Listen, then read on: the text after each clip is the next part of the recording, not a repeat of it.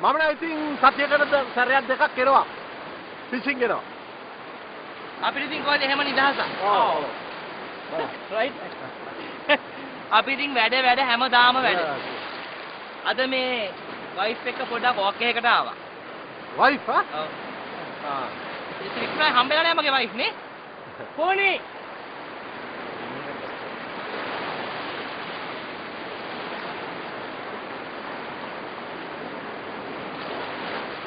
මේ පූර්ණිමා. පුණි. මේ මගේ හොඳම යාළුවෙක් වගේම ලංකාවේ ඉන්න ලොකු business කාරයෙක්. Mister Wickramanayake. Hello. Meet you. පොඩ්ඩක් ඉන්න පොඩ්ඩක් ඉන්න.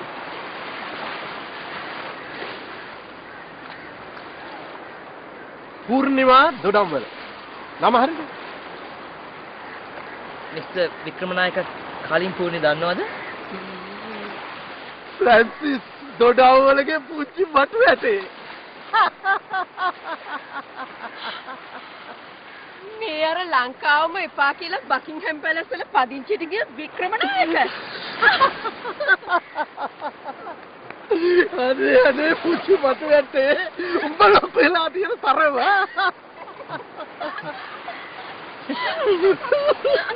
බඩු ඇටේ.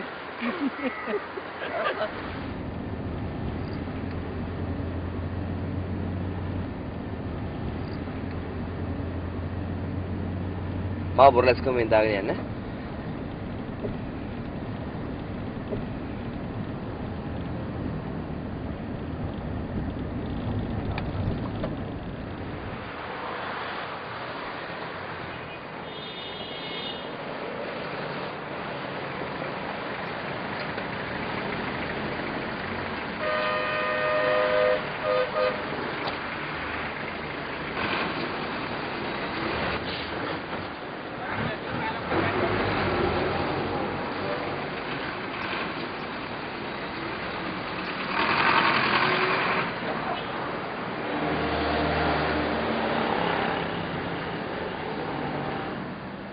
එල මාමේ.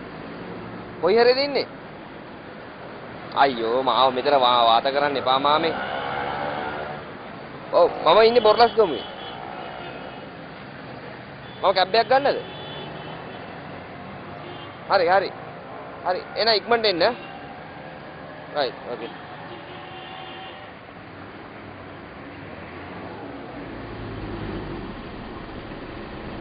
බලාගෙන ගියාම ක්‍රිස් කියන කතාව ඇත්තනේ.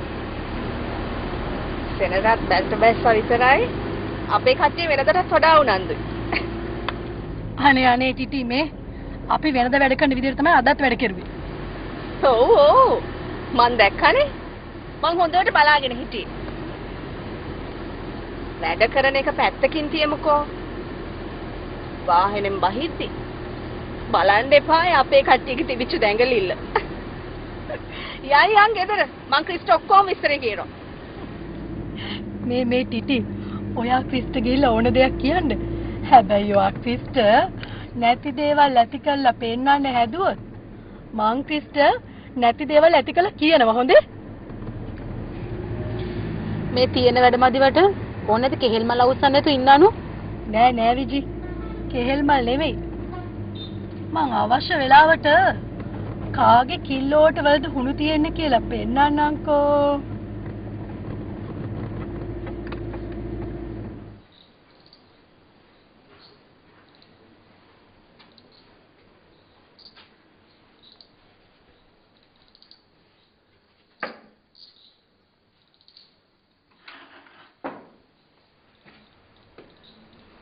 දුව පොඩ්ඩක් කෙලින් වෙන්න මම ඔයාලට කවන්නම්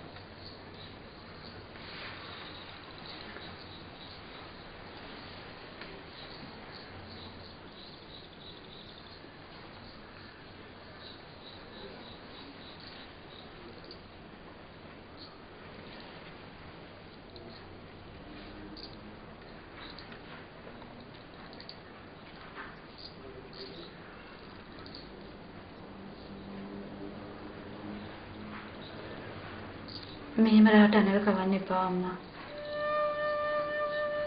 ඒ මොකද දරුවෝ මේටි අම්මගෙන් රහට කාලා ගිහිල්ලා එහෙදි මතක් වෙනකොට මට දරා ගන්න බෑ.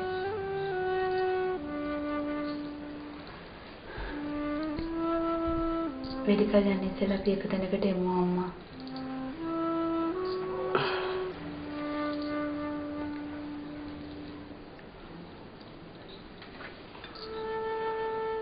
මං හිතන්නේ මං දැන් මෙහි අවුරුදු ගාණක් වැඩ කරපු හින්දා කොළඹට කිට්ටු ඉස්කෝලේකට මාරුවක් හදාගන්න බැරි වෙන එකක් නෑ.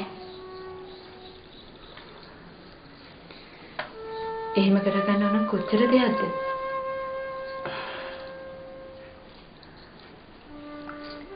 සේරටම කලින් මගේ දුව අත සනීප කරගෙන ඉන්නකෝ. උම්.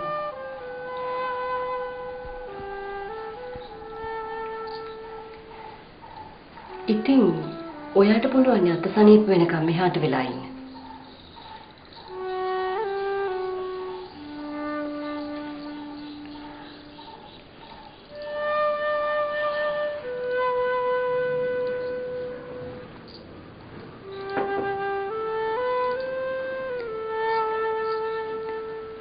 ඇත්තටම මටත් ඕනේ අම්මා ළඟට වෙලා ඉන්න තමයි. ඒත් මම මෙහාට වෙලා හිටියොත් මට ඕපන් යුනිවර්සිටි එකේ වැඩ බලා ගන්න වෙන්නේ. අනික ක්ලිනික් යන්නත් තියෙනවනේ අම්මා.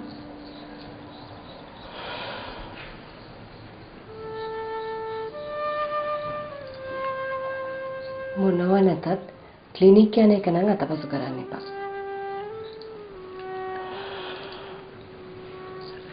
ඉතින් අම්මට පුළුවන් සතියක් දෙකක් නිවාඩු දාලා මාත් එක්ක කොළඹ ගිහින් එන්න.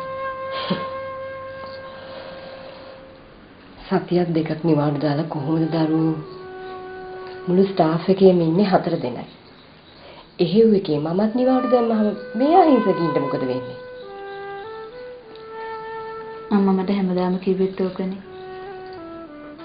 ඔව්. මං ඔයාට හැමදාම කියන්නේ ඕක තමයි.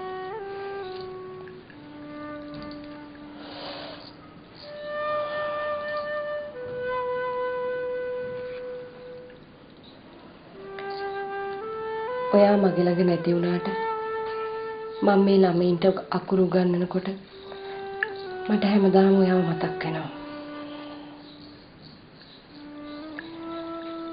ඒ අහිංසකීට 6 4 කියලා දීලා තමයි මම මගේ දුක තුනී කරගන්නේ.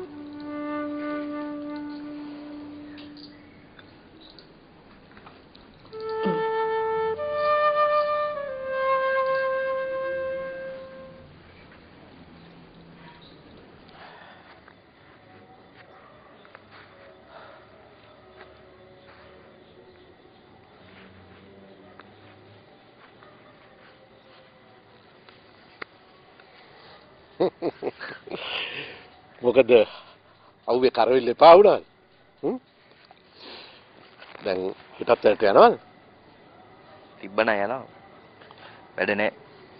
හ්ම් එහෙමනම් මොකද කරන්නේ? අපි එට සීබාත් එකට යමු. අදහස නම් නරක නෑ.